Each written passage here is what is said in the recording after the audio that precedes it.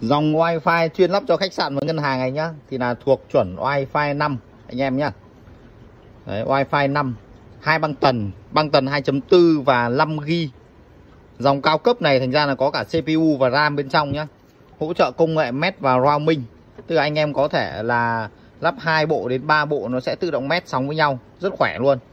Và công nghệ roaming chuyển vùng nhanh nhá. Đấy là hàng đặc biệt rất là cao cấp dành cho các khách sạn và ngân hàng anh em nào mà phòng trọ ấy, hoặc là tầm các khu đông người mà lắp bộ này thì đảm bảo sóng cực kỳ khỏe luôn. Mà trong tầm giá hơn 600 thì đúng là chưa bộ nào mà nó, nó đỉnh cao như bộ này luôn anh em ạ. Cổng lan băng thông 1000 Đấy, hỗ trợ tầm khoảng 200 thiết bị là theo hãng nói. Còn anh em thực tế anh em lắp bộ này thì nó sẽ được tầm khoảng một trăm rưỡi quay đầu. Như mình lạ lắp là đến tầm khoảng 100 lắp cho cái anh này là chuyên phòng livestream là được tầm 80 máy 90 máy chạy rất bốc luôn. Ừ khỏe cực kỳ anh em nhá. Đây là một bộ lắp cho anh khách này, anh này ở quán cà phê này. Anh cũng mua về lắp này. Đấy, thì quay cho anh em xem cái cái ờ, thông số máy để anh em hiểu. Tức là trong tầm giá hơn 600 này thì đúng là chỉ có bộ này là gọi đáp ứng đủ cái nhu cầu. Nhà mình cái lắp rồi là chỉ dùng bộ này thôi.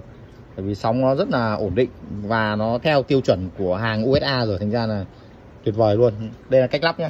Cách lắp thì video sau mình sẽ chia sẻ anh em về cách lắp. Lắp thì rất là dễ luôn anh em chỉ cần cắm dây mạng vào và sau đó sử dụng cái phần cài đặt thì mình cài sẵn rồi, còn anh em thích thì có về có thể tự cài nhá.